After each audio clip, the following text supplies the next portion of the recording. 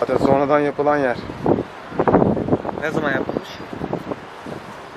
Bunu eee surlar yıkılıyor diye